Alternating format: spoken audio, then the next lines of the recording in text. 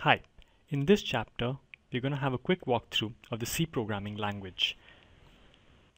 We're going to walk through a set of programs which will help you understand how to write a C program.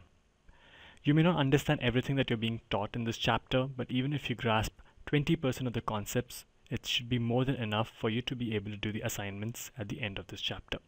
In this chapter, we would first learn on how to download and set up the DevC application. This is the application that we are going to use to write our programs and finally compile and execute them. Okay, first thing we need to talk about the tool that we're going to use to write our programs and compile them. We're going to use the open source IDE called DevC++ from Bloodshed for our development.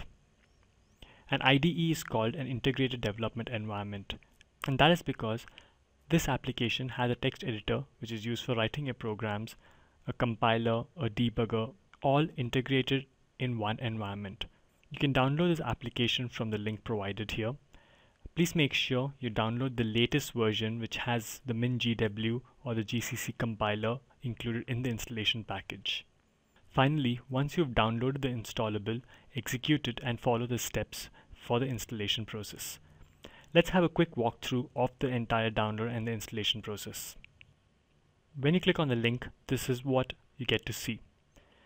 So if you go to the downloads area, you will find the dev C++ 5.0 beta. This is the latest version and it does say with mingw slash gcc. So we'll go ahead and download this. Once your download is complete, you can click on the package and just follow the instructions as most of them are just default values.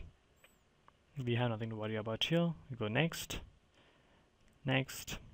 The installation is pretty straightforward.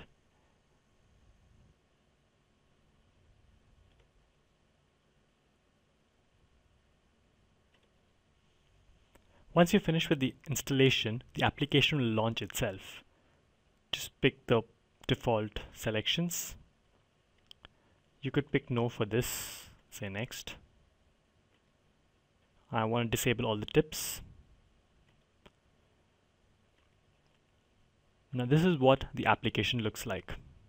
We don't have to worry too much about making any changes or any more settings. We are done with the installation. Let's move on to the next slide. Okay, now let's talk about the tool itself.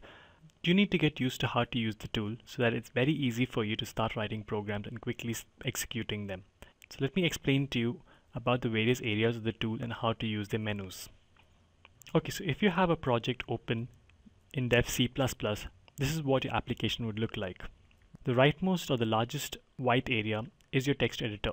This is where you will write your programs. Generally, projects consist of multiple files and not just one file. So when you're working on large projects, all the files that belong to the project will be shown on the left hand side. So you can easily click to go to the particular file and start editing that particular file.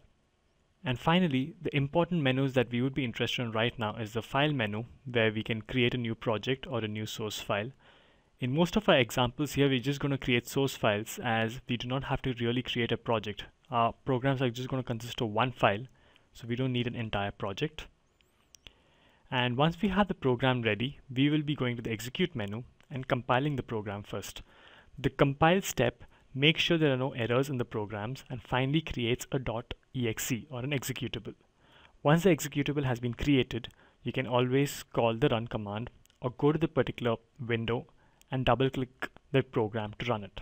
Also, if you don't want to do these two steps of compile and run, you can directly press the F9 key or the compile and run option to do both of them together.